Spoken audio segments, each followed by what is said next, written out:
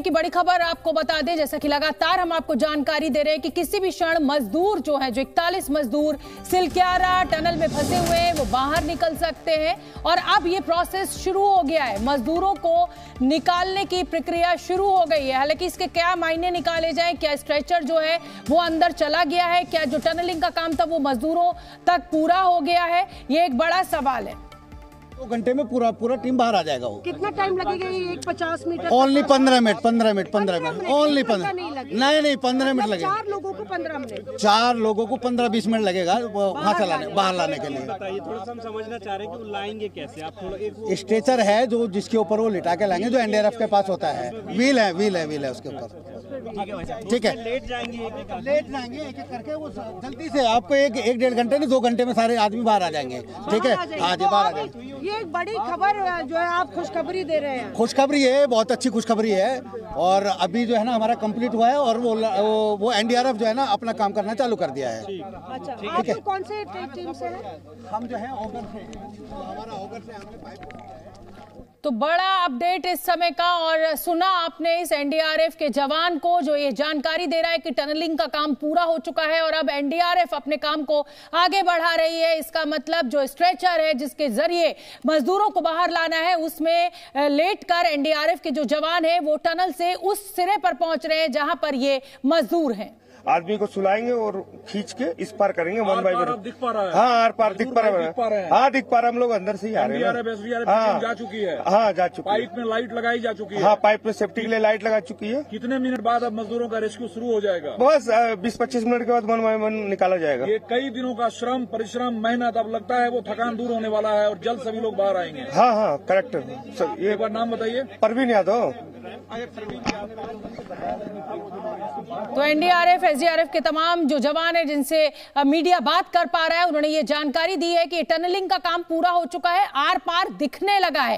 अब एनडीआरएफ के जवान जो स्ट्रेचर है, उनके पास उसको लेकर उस सिरे पर पहुँचे हैं, जहाँ पर मजदूर मौजूद हैं। तो हालाँकि अभी हमें तस्वीरें नहीं मिल रही हैं मजदूरों के बाहर निकलने की, लेकिन 10 से 15 मिनट का वक्त जो अपडेट हमें मिल पा रहा है, उसके ज़रिए हमें पता चल रहा है कि 10 से 15 मिनट का वक्त और लगेगा और दो से तीन घंटे में ये सभी मजदूर अगले घर बाहर आ जाएँगे। इस समय सात बज के सैंतीस मिनट हो रहा है। मतलब आप कुल मिलाकर अगर हम देखें तो दस, साढ़े दस बजे तक ये पूरा रेस्क्यू ऑपरेशन पूरा हो जाएगा, क्योंकि एक मजदूर को पाइप के ज़रिए बाहर निकलने में चार से पाँच मिनट का वक्त लगेगा। इकतालीस मजदूर है और अगर सीधा सीधा गणित लगाया जाए तो ढाई से तीन घंटे। और ये देखिए, ये तस्वीरें हम आपको दिखा रहे हैं। इस समय टनल के अंदर हलचल जो है, एनडीआरएफ, एसडीआरएफ और पुलिस के जवानों की वो तेज हो गई है। खुद मुख्यमंत्री पुष्कर धामी भी इस समय टनल में मौजूद है। डॉक्टर्स की टीम वहाँ पर मौजूद है और जैसा कि जानकारी एसडीआरएफ और एनडीआरएफ के जो जवान है जो हमें दे रहे हैं वो यही बता रहे हैं। आपने सुना भी उनको पाँच मिनट है।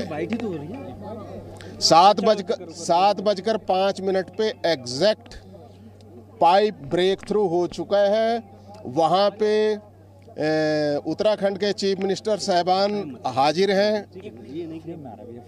जनरल वी के सिंह जो मिनिस्टर ऑफ़ स्टेट मोर्थ वो वहाँ पे हैं मोर्थ सेक्रेटरी जैन साहब वहाँ पे हैं एन एच के एमडी मिस्टर महमूद अहमद वहाँ पे हैं और डिस्ट्रिक्ट एडमिनिस्ट्रेशन है, इंडियन आर्मी के लोग हैं बीआरओ के लोग हैं, रेस्क्यू एजेंसीज हैं, सारे मजदूर हैं।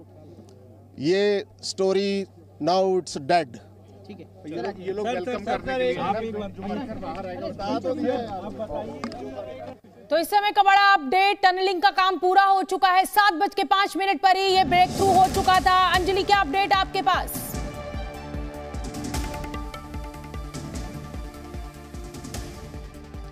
अंजलि तक मेरी आवाज़ नहीं पहुँची है। इस बीच अच्छी खबर, खुशखबरी। आज की शाम की सबसे बड़ी खबर, सबसे बड़ी खुशखबरी कुछ है तो वो ये कि इस टनलिंग का काम, उन मजदूरों तक पहुँचने का काम अब पूरा हो चुका है, जो जानकारी हमें मिल रही है। सात बज के पाँच मिनट पर ये ब्रेक थ्रू हो गया था, यानी ये टनल पड़ने का काम पूरा हो गया था और अब से कुछ ही देर बाद अंजलि का मैं रुक करूँगी। अंजलि, क्या अपडेट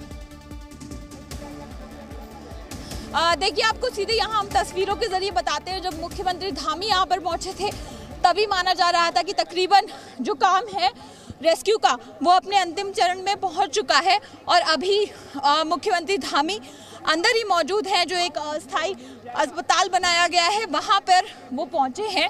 उस जगह का मुआयना किया है और अब कुछ घंटों का ही वक्त बताया जा रहा है कि लोग यहाँ से बाहर निकलना शुरू हो जाएँगे। तो अब वो जो इंतज़ार, वो लंबा इंतज़ार जो हर कोई कर रहा था, तस्वीरों के ज़रिए लगातार हम आपको टनल के अंदर की गतिविधियाँ भी दिखा रहे हैं कि किस तरह से। अब देखिए कि एंबुलेंस जो है, वो यहाँ पर मूव होनी शुरू हुई है।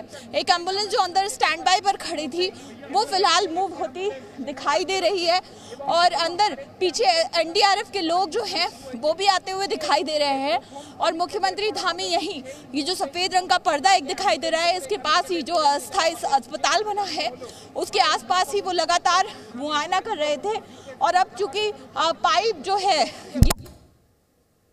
बिल्कुल, और देखिए, ये दो तस्वीरें इस समय हम अपने दर्शकों को दिखा रहे हैं। पुष्कर धामी जिस समय पहुँचे हैं, मुझे लग रहा है कि इस समय जिस, जो स्टिल है, जो स्टिल फोटोग्राफ उसमें ऐसा लग रहा है कि धामी साहब ताली बजा रहे हैं। उनके साथ जनरल वीके सिंह को भी आप देख सकते हैं, जो इस पूरे रेस्क्यू ऑपरेशन पर लगातार नज़र बनाए हुए थे, और पुष्कर धामी जो है, वो वहाँ पर खुश दिखाई दे रहे हैं, मुस्कुराहट उनके चेहरे पर दिखाई दे रही है, और ये सात बज के पाँच मिनट पर जानकारी मिली है कि ये टनलिंग का काम जो था, वो आर पार मजदूरों तक पहुँचने का काम जो था, टनल का, वो पूरा कर लिया गया। है। अब एनडीआरएफ के जवान एक्शन में आ चुके हैं और किसी भी क्षण मजदूरों के बाहर निकलने का सिलसिला शुरू हो सकता है। खुद मुख्यमंत्री जब वहाँ पर पहुँचे, जैसे कि अंजलि सिंह, जो कि जी न्यूज़ संवाददाता वहाँ पर मौजूद है, उन्होंने बताया कि जैसे ही पुष्कर धामी एक बार फिर यहाँ पर पहुँचे, तभी उम्मीद जग गई थी कि शायद अब रेस्क्यू ऑपरेशन जो है, वो अपने अंतिम बिंदु तक पहुँच चुका है। टनलिंग का काम पूरा हो चुका है।